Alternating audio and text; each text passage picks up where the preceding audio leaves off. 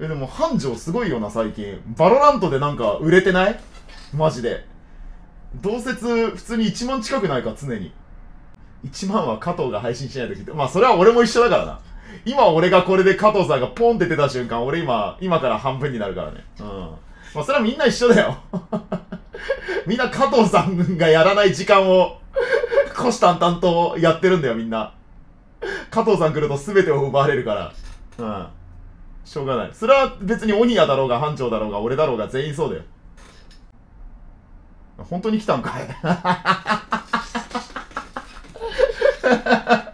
言霊じゃん、もう。なんで言ったら来るんだよ。本当に来たの？嘘から出た誠じゃん。なんだよ、そのタイミングマジで。見てただろ加藤さん、俺の配信見てただろお言ってんねポチマジかよ。で、この時にさ、本当になんか、人質取ったなんかさ、そういう、な銀行強盗みたいなのが現れてくんだよね。ねえ、これからもっと面白い話しないと、順位くけどどうする？みたいなさ、なんか、まるで、まるで俺の配信にいることが人質を取ったかのように、なんか、条件を持ちかけてくるやつとかも現れるんだよな。マジで鬱陶しい、本当に。うん。脅しかけてくんだよね。何それマジで。このままだと、ほら行くぞ。順行くぞ。ほら行くぞ。ピアノ弾かないと順行くぞ。ピアノ弾きますみたいな感じで。乗せられ上手。